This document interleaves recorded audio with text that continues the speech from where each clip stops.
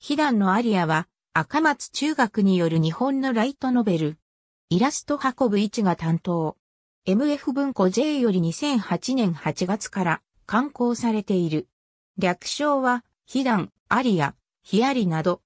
2020年12月時点で電子版を含めたシリーズ累計発行部数は900万部を突破している。TBS 他にてテレビアニメ化され、2011年4月から同年7月まで放送された。また、アニメ放送と連動する形で、ソーシャルゲームがグリー及びモバゲーにて配信された。作者が同じ、やがてマハカシのアリスベルと世界観を共有しており、登場人物も一部共通している。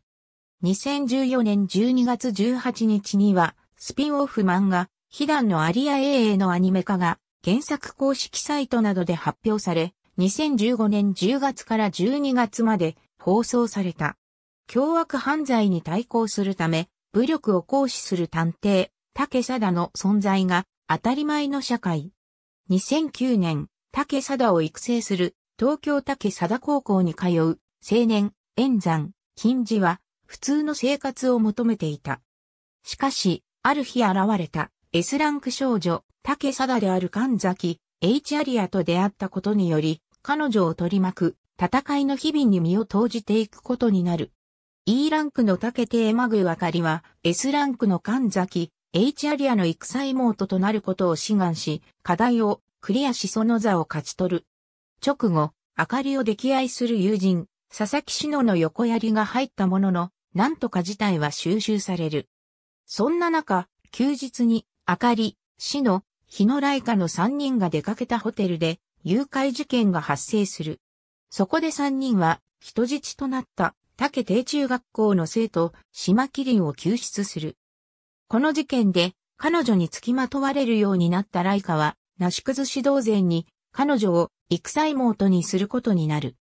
チーム対抗戦、カルテットで高千穂霊率いるチームと戦うことになったあかりたちは、自分たちを見下した彼女を倒すべく、アリアやミチコの特訓を受け、見事勝利をもぎ取る。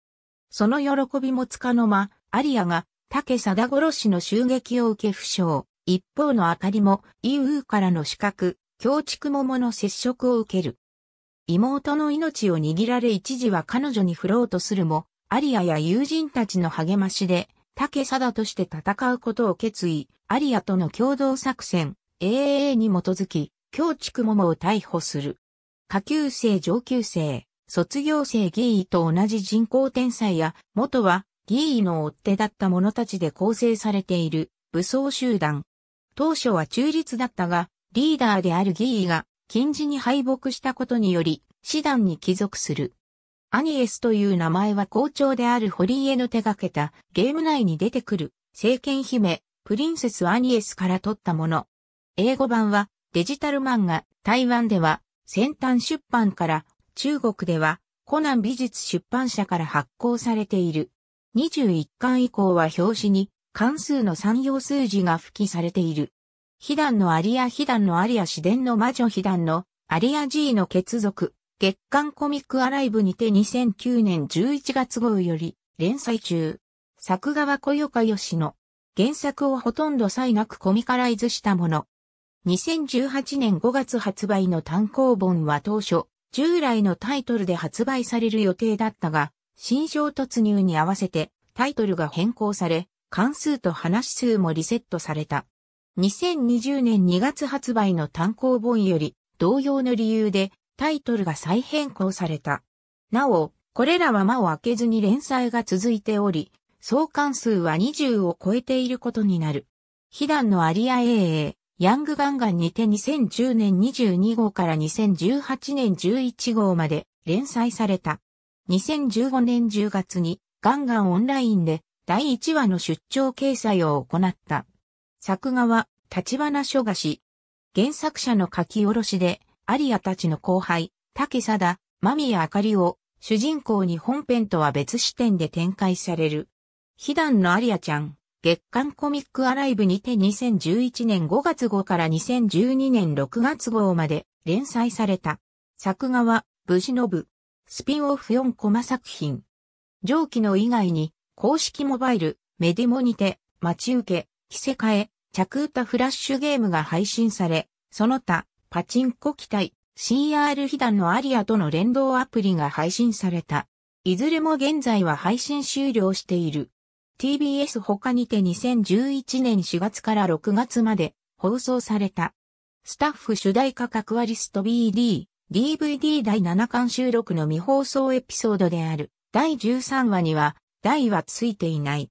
放送局ウェーブラジオ、ラジオ、被弾の有ア竹貞高広報室だよりのタイトルで、2011年3月25日に、第0回が配信され、同年4月15日から7月1日まで毎週金曜日に配信された。また、同年4月21日から5月5日までガンガン、オンラインにて出張版が配信された。パーソナリティは、釘宮理恵と高橋美香子。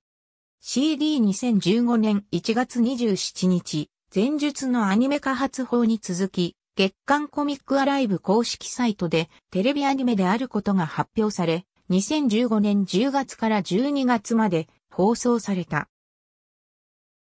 ストーリーは原作に準拠しつつも、エピソードの改変や入れ替えが行われている。スタッフ主題歌格アリスト放送局 BD、DVD ウェブラジオ、ラジオ、悲談のアリアアヤネアイのタイトルで、2015年9月23日から2015年12月23日まで、音泉と響きラジオステーションにて配信された。初回はプレ放送となり10月7日から毎週水曜に更新。パーソナリティは桜彩音と血の愛。初出展被弾のアリア AA に関するカテゴリー。ありがとうございます。